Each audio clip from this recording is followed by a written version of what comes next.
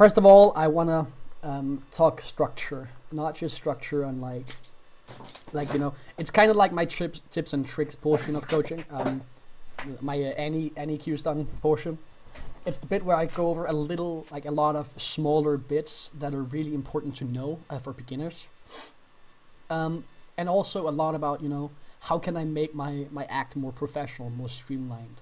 How can I help myself and my students have not just a knowledge like an an an, a, a productive environment, but how can I make it streamlined so that it works and runs a good coach, like the difference between a good coach and a great coach is a good coach can manage everything consistently, you know, and, and, and co- constantly optimize something. But a great coach, a great coach can create a system that runs itself, right? He creates a system that, that he nearly doesn't have to be involved in. Um, there's a lot of about uh, democratic and autocratic uh, coaching in the next seminar. By the way, this is like high level, or not really, but it's it's it's up there with the the big bosses, right? Um, we'll be talking a lot about you know why breaks are important. Uh, we'll be talking about uh, how to source your work. We'll be talking about uh, how to create these exercises that I've been hyping so much. First of all, I went into this in the beginning, but why are breaks important to you? Well, breaks are important because of the fact that the less breaks we have, the less you can concentrate. Uh, the U.S. Air Force did test again, um, reaction tests with a little computer game actually, so it's relevant to us. That shows that for con- concentrating for over 30, 30 minutes at a time, concentration begins to um, reach a steady decline, right? Um, this decline is emphasized by lack of sleep, lack of uh, water, um, lack of focus, and lack of um, interest, right? But overall, the break, like the, the lack of focus, kicks in at uh, 30 minutes. Once they did the test with people who were interested, like like super motivated to do this, you know, uh, people who, who were told that their ability to get a job required on them passing this test. Their concentration level spiked to around 50 minutes, 50 minutes to an hour. However, even if that's like, you know, you, you spend five years taking an education and and you're con- like and you're, you're told, you know, you have to do this for two hours, um, you have to concentrate on it. These people who like put their entire lives on the line for this still could only concentrate at full efficiency for at most an hour, okay? if you run six hours of coaching or two hours of coaching or three hours of coaching or two years of coaching and don't take a single break, your results will be lacking and it will come to a point where if you don't take these breaks, you'll be building more bad habits than you're destroying, right? You'll actually reach a point where the engagement and the focus and the commitment levels are so low that no matter what you do, um, the person is is dropping off more than they're they're they're building on. It's it's like there's too much wind uh, to build a house right now. Um, so I I you know a lot of people say you know oh breaks like it's just a minor bit it's just a little bit you know little breaky things, but breaks are actually one of the the key tenets. Like it's it's a building block. It's a foundation. Please, for the love of God, guys, do me the favor of making sure that you plan for these breaks and make sure that you you stress them and you underline them and you like you enforce them. a lot of people will say to you, you know, I don't need a break, let's just continue another hour. And then you have to be the, the more mature person and say, No, I actually do need a break and so do you, and we're gonna have this break. Because you're the coach, that's your it's your role to say this to them, right? This is your job. um, if you if you are um like if you're if you're doubting my words, you can of course look up sources for all of this, but I don't think you'll find any that disagrees with me.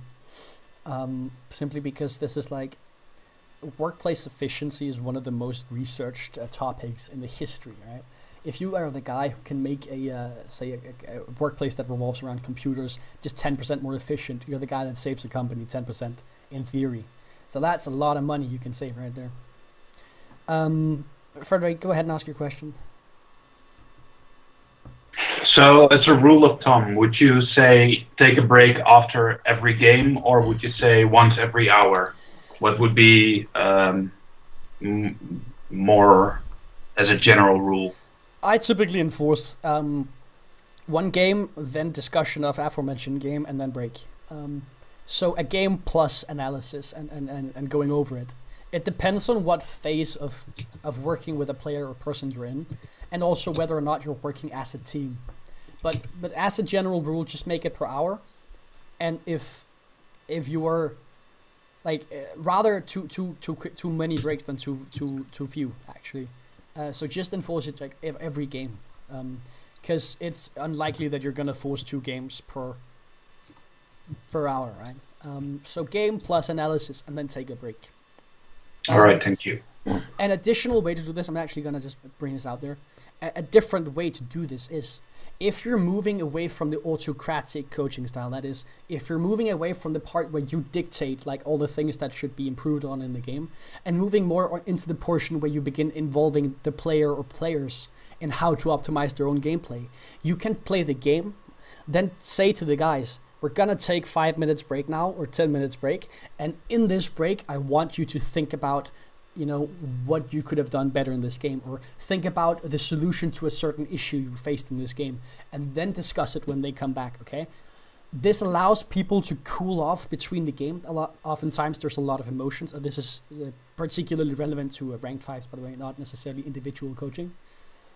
But this allows people to take away take out the emotions of the the game they just played and like bring it back to like a, a- calm and collected level if especially if it's a last game right? That might be a really relevant way to do it.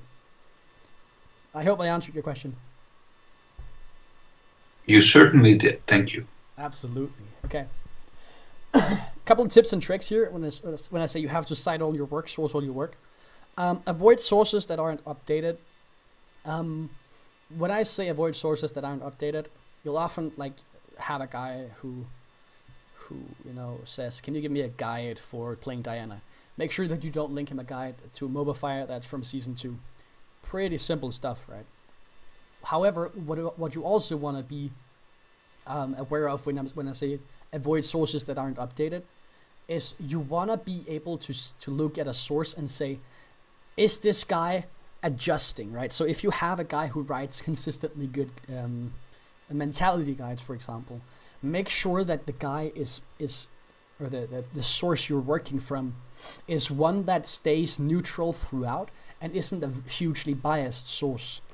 If i was teaching you guys how to be journalists i'd say avoid uh, news outlets that are uh, like um, uh, politically biased to a certain extent unless you can find the certain topic covered on two different outlets and then mix and match and find uh, commonalities right so it's if you want to have a um, a nuanced view on Obamacare, it doesn't really make sense to just go to some sort of like some sort of uh, conservative news outlet like Fox News, right? It's just like you're just gonna get one side. So avoid sources that aren't updated and aren't um, neutral in their their wordings, right?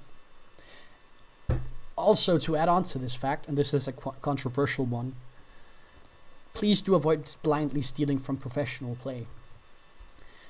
LCS, LCK, uh, Challenger Series to a certain extent, Challenger players, this is the highest level that we can aspire to be.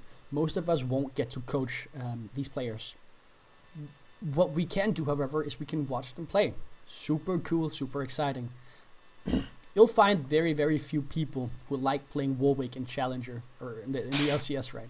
Uh, especially like they'll- he'll get in the meta sometimes, but overall he's not a popular champion there because he has glaring flaws what you'll often find then is you'll find people who say, uh, you know, don't play Warwick because the pros don't do it, so it cannot be good.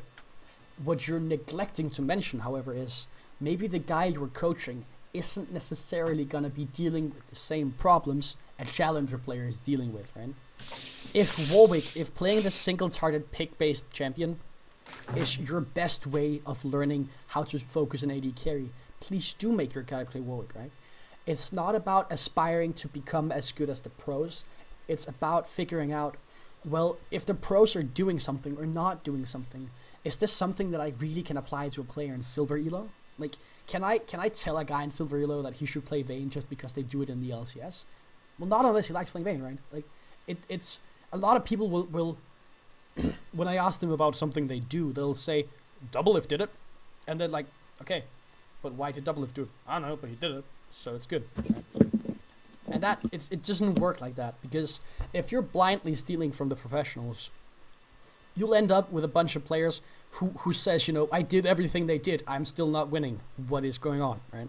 And that is is a huge huge hurdle for you to overcome as a, as, as a coach because not only do you open yourself up to like to the fact that you made a mistake and only like you were uh, not knowledgeable enough but you now also have opened yourself up to the liability of having to explain to a player that or not necessarily having to explain to a player but you're, you're opening yourself up to the um to the possibility that this player will get hugely demoralized right? Because people we take our idols and the people we look up to and we bring them to sort of pedestal and we aspire to be like them right? If you begin working with a person and you teach him everything he wants to do or should be able to do to be like their idol instead of breeding good habits that are his own right? And instead of working on teaching him things that are completely unique to him then that player will find first of all end up falling short because you will never be Doublelift you can end up playing like Doublelift, but you will never be Doublelift. And until that guy becomes Doublelift, if he's a huge Doublelift fan, he will never be happy, okay? So don't try to create mini professionals. Try to create good League of Legends players. And then take the things you can from the pro scene that are relevant. I hope this is like this is a really controversial ones because at the end of the day, yes, the pros are the best people. So of course there's information to be gained from watching the pro scene. Exactly. If you see a pro player do something, you not only have to be able to understand why did the player do it, like why why did he go for the lane swap or why did he go for that all in. You also have to say, is this something that a this guy needs to know and B needs to know now, right? Yeah, sure, you might need to teach a guy that this is how you tank towers. But do you really need to teach that to a bronze guy? Can can it wait until you get like plat? Maybe, sure, right? and you'll end up with a, with a bunch of people yeah, exactly. Exactly what Luke wrote here. Um, and that's really the essence of it. Um, you'll get that a lot, especially from people who are really good analysts. Typically, an analyst will pick a favorite, so to speak. Uh, if you take um, Thorin, he's like analyst typey. Um, he'll he'll like everything you say and do. It's either gonna be Dade, uh, Pawn, or Faker, right? Or depending on what season you're in. And he'll say Faker did it, so it must be right, right? And sure, Exactly. Faker is the best player in League of Legends. In League of Legends history, actually. But that does not mean I should take my gold 5 player here in solo queue and then try to make him execute combos like Faker. Not yet, not now, maybe not ever, depending on my limitations, right? Or this player's limitations, rather. so let's uh, talk about all these exercises I mentioned, right? We're going to be doing a lot of, of exercises uh, like this later what you want to be clear on, however, is like what kind of exercises can I even do? Well, there's two kinds of exercises. There's what's called an assessment exercise and an improvement exercise. It's also very important that you make clear to the person you're coaching which kind of exercise you're doing so he doesn't put a lot of false confidence or false hopes into one kind of exercise. If you have a player who consistently um, cancels auto attacks, but you don't know if it's because he doesn't know you know the length of, a, of an auto attack before he can cancel it on this specific champion, or if it's because he is confused by like he, the the spell animations or whatever, you can put him through an assessment exercise. An assessment exercise is one where you take away all the clutter in a game, all the stress on the player, and then watch what is this guy's theoretic optimal, right? if you have a guy who um let's say he, he consistently ends at 10 minutes and he has 60 CS it's okay, but it's not good, right? It's not a good amount of CS at 10 minutes. Uh, you want to have closer to 100. You don't know if this guy has low CS because he gets pressured, because he cannot, like, he, because he has bad timing, because he doesn't know the auto attack length. Then you can begin removing these stress elements, and you can say, okay, so he CS is better when there are no enemies in lane. So that means that some of his lack of CS stems from pressure from the enemies, right? You can also begin casting spells at him and say, is it because he's too focused on kiting or, or, disengaging or whatever, right? Assessment exercises are more for you than it is for him.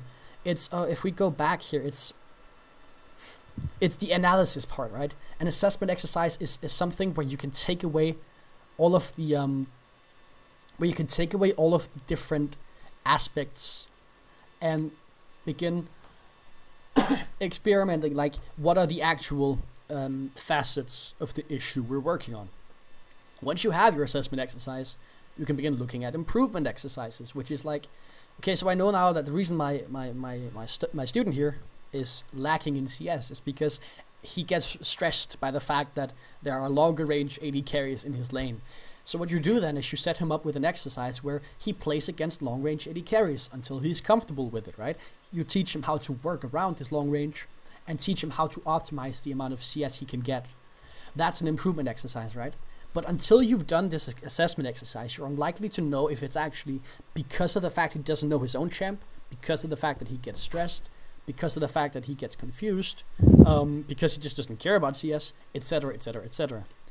So make sure you know what kind of exercise you need to be doing and when. Um, you can of course structure this into two different uh, sites. League of Legends is kind of unique uh, and, and different to traditional sports uh, in the sense that in traditional sports, most of your coaching, most of your work in that sport will be on site, i.e., it will be at a, at a designated practice area with a designated coach. Most league players play more solo queue alone than they play with a coach. Um, unless you're like Faker or like a, a pro player, you'll do most off-site, right? It's very important that you understand that on-site is always going to be most effective because the coach is there to live coach.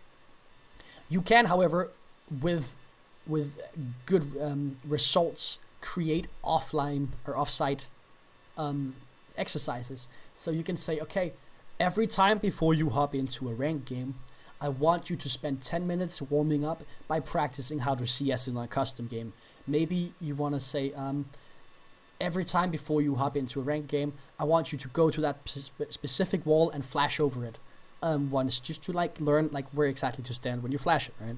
Etc. Etc. Etc. You don't need to be there for these as long as you have uh, the trust from the student and you can follow up on whether or not he does it.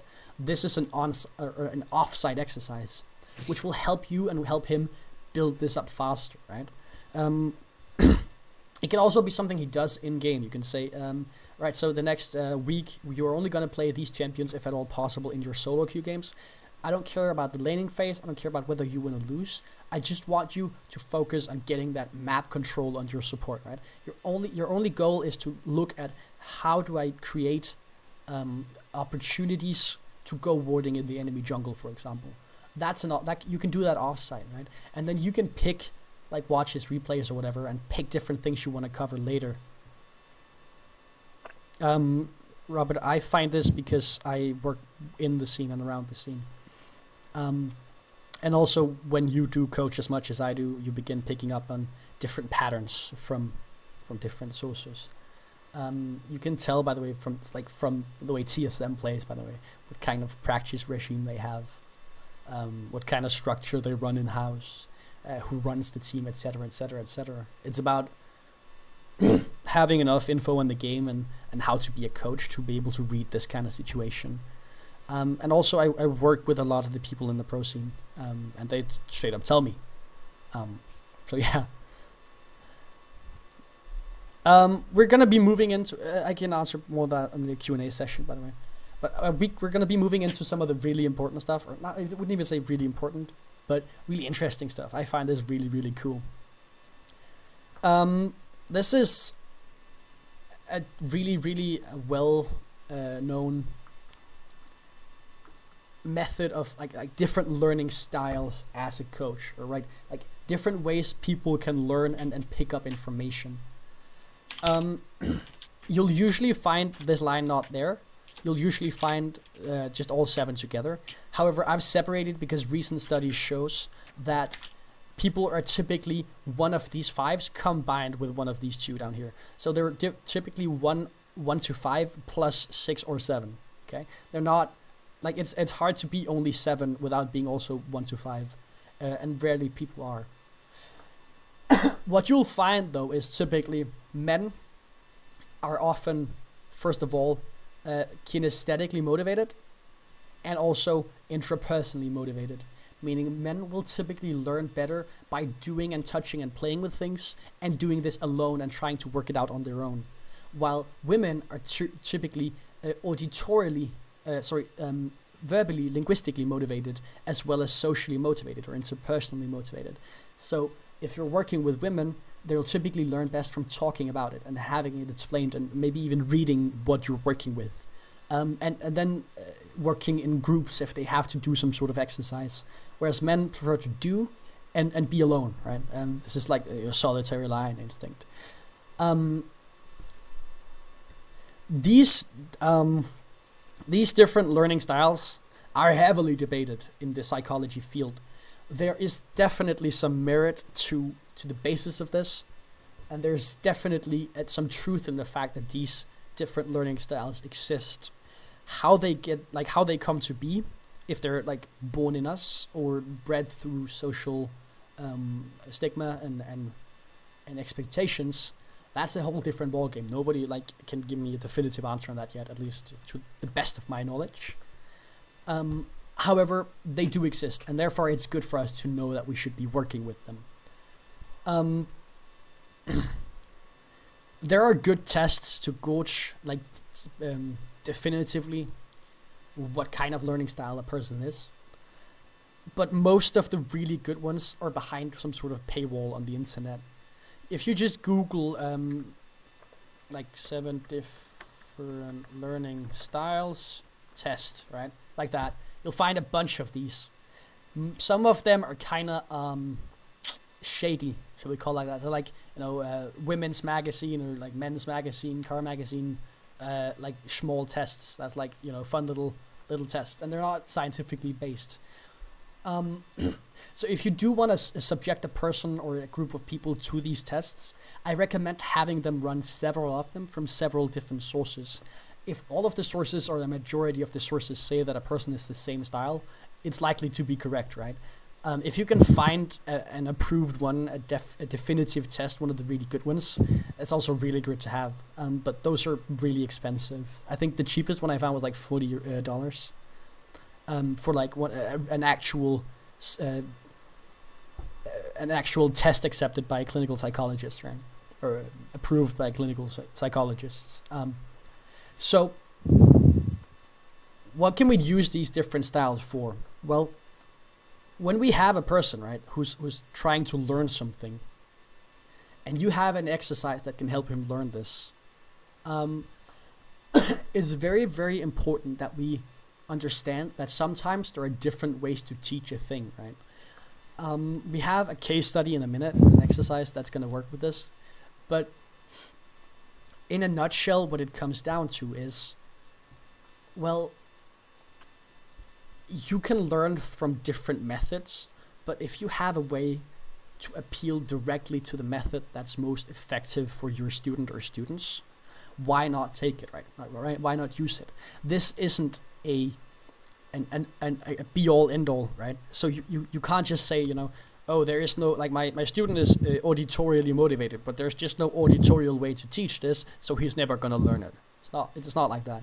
This is just to say what comes naturally to people. Um, what is, is, is the easiest way to work with people, right? Um, does anybody like not understand this? Some of them are a little, um, uh, I don't want to say equal, like the same, but but some of them share similarity. For example, the auditorial and the verbal can be quite um, similar in nature, but uh, they're still different enough to have its own category. For example, if you have somebody who's orally motivated, they're less likely to be motivated by talking to people. They're more uh, likely to be basing their their their self on, on oral cues, right? So if they have to to time their skill shots better, they're likely to be better to learn better from hearing the skill shots rather than having explained to them. Right? Uh, linguistics are require a different processing uh, uh, process, right? So so some of them are similar, and all of them will work if you use them on people. Some of them are just more effective. Okay. Um. Yeah, that's it.